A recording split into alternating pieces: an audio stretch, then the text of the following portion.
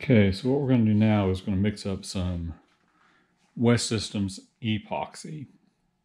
Um, it's much thinner. It's kind of a finishing resin for fiberglass, but what we're going to do here is mix mix up a small batch and then base, uh, basically coat the, um, the coupler tube for the electronics bay, the, um, the sled for the electronics bay, and the bulkheads. And so I'll just mix up a little batch of it. this is 206 hardener and the 105 resin. And it mixes at a ratio of 5 to 1 weight or volume. So we will just mix them up and then I'll get back with you here in a second and we will be coating uh, these parts. So we got a small batch of that. West Systems stirring it up here. And this is slow hardener, so we should have plenty of working time here. Just basically paint it on. So we'll kind of show you how I do this with the tubes.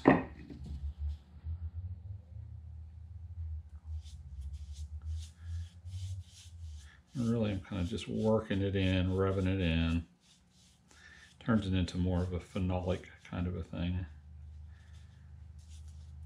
Epoxy resin with paper.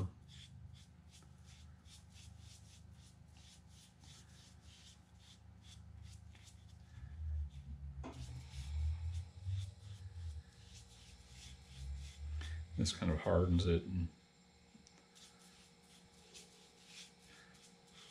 makes it wear better. Really get it to soak in. You can see how it darkens the, the, cardboard as it slowly soaks in.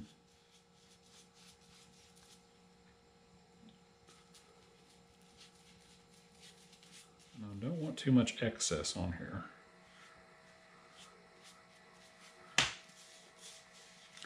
So I'll actually just kind of basically rub it in.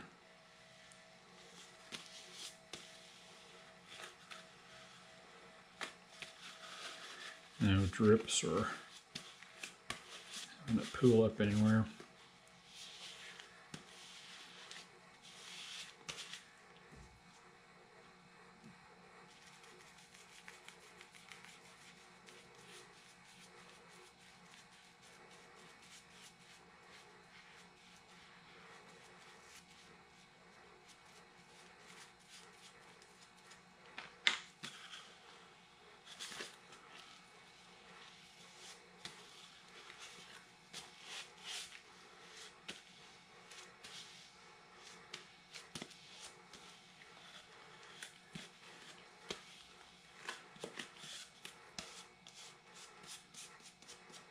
Okay, that looks good.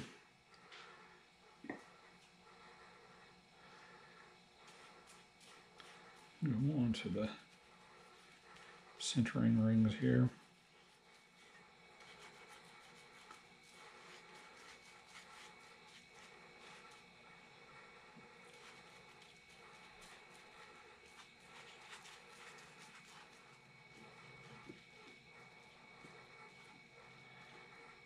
Okay. That. Let me go ahead and kind of get the inside edges of this, however much I can reach from the inside.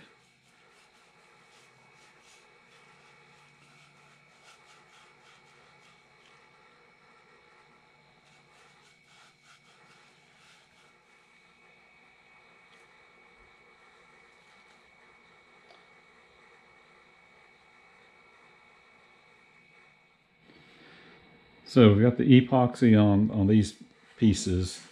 That's curing. So while that's curing, I figured I'd do is go ahead and start cut, cutting the slots on the uh, lower section fin can so this can all slide in. So what I did was I ran this tube, body tube down and I marked the uh, locations for the fins And then, of course, using the same old trick on the door frame, I ran the lines up. Then I got the fin pattern.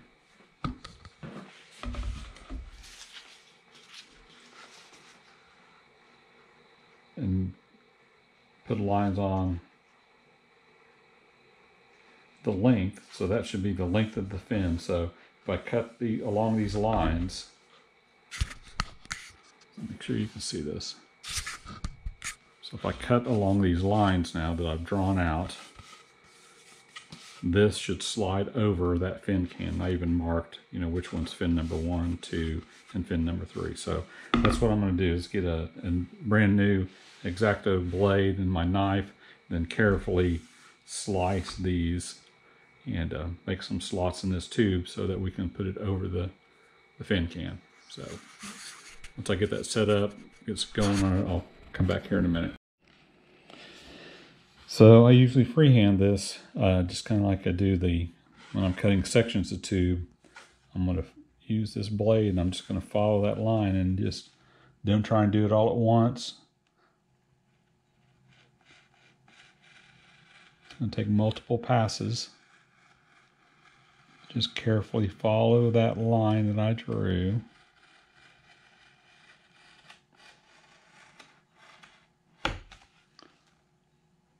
On both sides of these.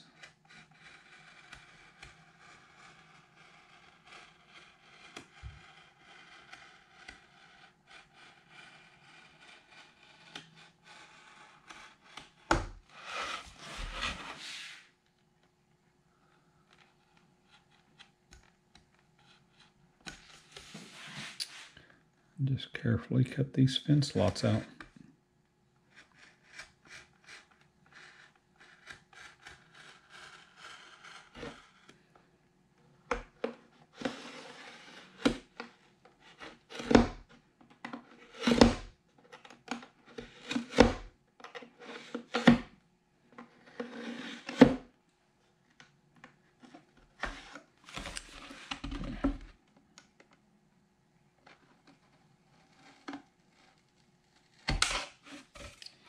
So there's one fin slot.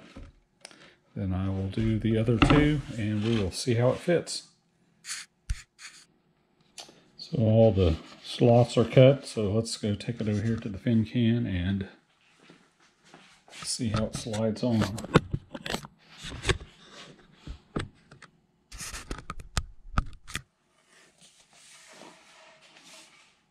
So that is fin number one.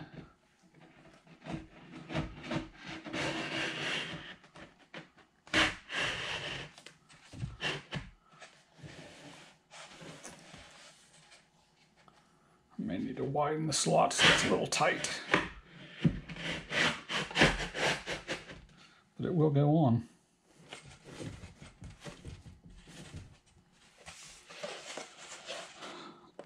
So it looks like maybe, no, there might, might be a little tight right there. That looks pretty darn good right there. See how this bows out. We need to do a little trimming. But for a first fit, it doesn't look too bad. So I'll pull that off and we'll probably go ahead and let the fin can cure the rest of the way because it's the epoxy on it is still kind of curing a little bit. So back in a bit. So it's the next day and all these pieces have cured that I coated, that were coated with the uh, finishing resin. There's the fin can. Got some runs and drips, but overall looks pretty good. Super strong with those notches and stuff. So now what we do is just for like on the electronics bay, it probably won't slide right in. I probably need some sanding. So kind of work on that for a little bit. Some light sanding. Get everything to slide together really good.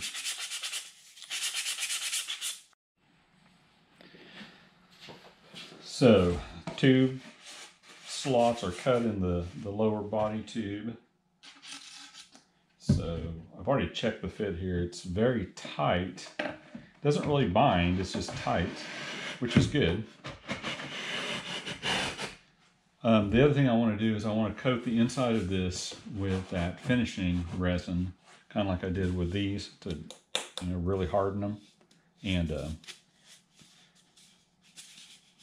that needs to be glued on there.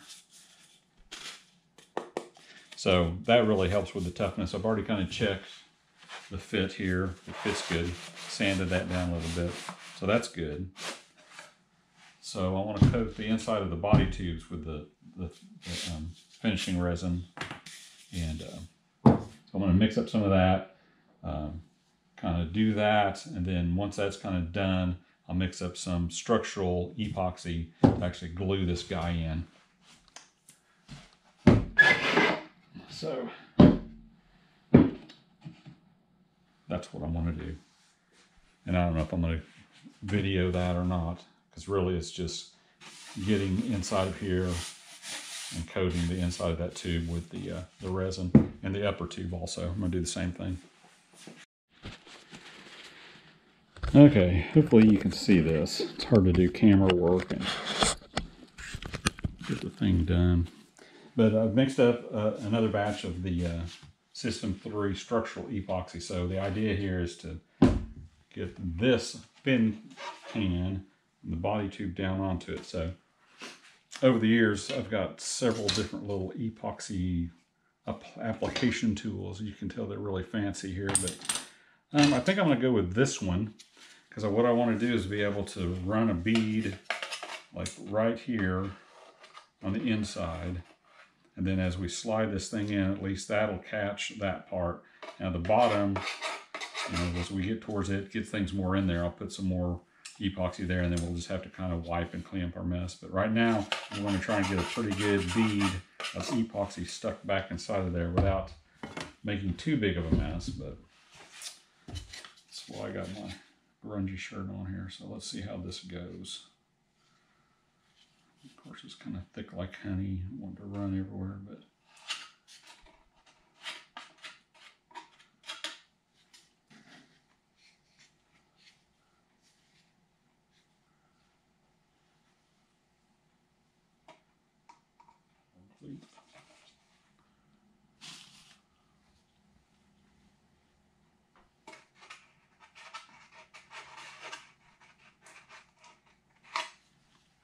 Okay.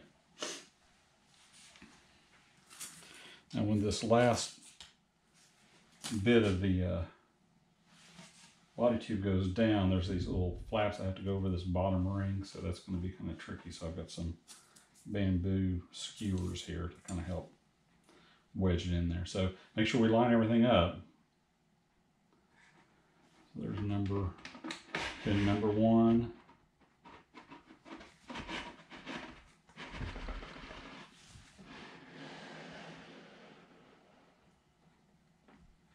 Okay, so now you might be able to see what kind of what's going on here. The idea is to get these skewers, kind of wedge them a little bit to get that to come back up over it.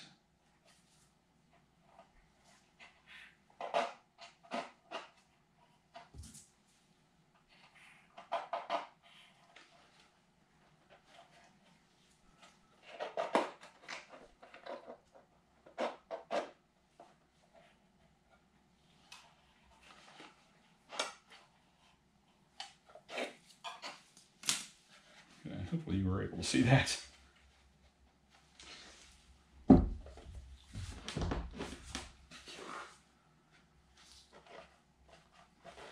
Okay, I'm trying to pull it back just a little bit to get some epoxy on this rear centering ring.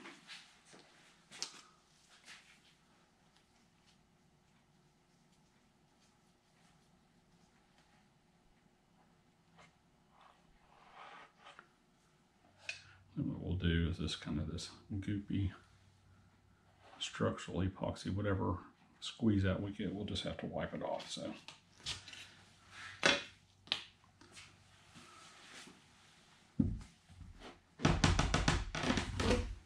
Okay.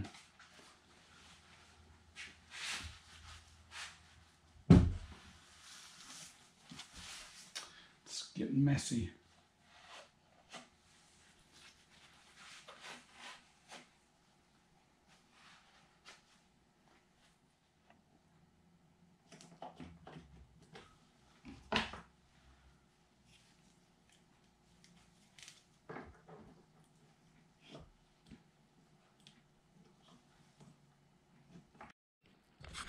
Okay, I've got things clamped as best I could. The one that was still kind of sticking out, what I did was I got a little uh, CA glue and just hit it. I'm holding and trying to point at the same time. Hit it right there to kind of hold that together. So everything's clamped. The epoxy is curing. I even ran a little down just to kind of coat the top of that that uh, top centering ring. So now I'm going to try and set this here on this box as vertically as I can to try and make sure nothing really puddles on one side. Okay, so that, that's my setup there. So now that's going to cure and uh, the other body tube, I've got it coated on the inside with the finishing resin. So that'll help harden that. I've already sanded a little bit on the uh, electronics bay. And got these center or the bulkheads here to fit in there nice. So that's all ready to go. Everything's really tight still right now, but that's good. I'd rather have it tight now and be able to sand to fit. Um, all this stuff is wood and it expands and contracts over time. So hope, hoping that, you know, the coatings of, of the uh, epoxy resin will kind of waterproof it and kind of proof it from some of that humidity changes, stuff like that. But toughens it up a little bit. But anyhow, I'm going to get the gloves off and just let this stuff set and cure. So that's where we're at right now.